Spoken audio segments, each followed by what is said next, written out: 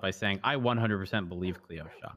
I don't think. I don't doubt that none of the terrible things happened to her. I just can't find them guilty beyond a reasonable doubt that Oh, it wasn't oh, right because there's no proof that it wasn't I done at a you. Mm-hmm. higher level, blah, blah, blah, bullshit, bullshit, bullshit. I understand it's really hard to press charges on officers. To my understanding, my civil action against Wrangler was the first time I'd seen qualified immunity pierced in the city. Again, do not worry. I'll just say this. I didn't have much There's- evidence either. I had to fucking take the stand though to be an extra fucking person testifying as opposed to just my defendant and somebody else run the show. You understand what I'm saying now? Oh, oh, a Would have hundred loved it if you could have taken that fucking stand and talked about the shit that you, but nothing. It- well, here's the thing. Unfortunately, without physical evidence, it, it would have been difficult no matter what. Um, and, I'm and there I'm wasn't I'm really going to much- point you to another uh, case where there wasn't any uh, physical evidence, all right? Where something was decided against Wrangler, all right, by Chief Justice Crane himself. I'm going to point you to Mm-hmm. another case where two okay, I'll go to testimonies versus one testimony with no evidence was fucking enough, all right, No. to pierce qualified immunity. So I'm just going to send that to you, and I want you to Oh, just have a review on thing. it, okay? Oh, I want I'll- you to I'll- look at I'll it. take a look. I'll, I'll take a look. That wasn't. You. That wasn't the play. There's still a civil case. I know it wasn't, but I you should have had that. They're that. no longer at risk of double jeopardy.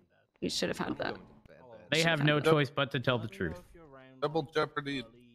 Tomorrow. All right. They don't have to tell the truth. They'll just lie on the sand.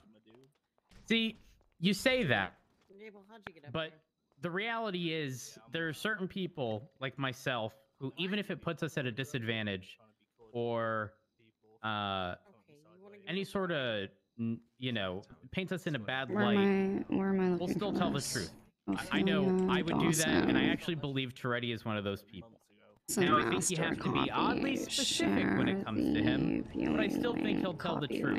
And the reality Okay, is, There we go. At the end of the day, the only thing that matters here is the truth. And when that truth comes out, I agree. which it, I, I guarantee it will in that civil case, when the truth comes out, that's all that matters. Does not matter that he was found not guilty of these charges. You know. Yeah, it does. Where, where's the proof of bur- uh, burden of proof higher, civil or criminal? It's criminal. Okay.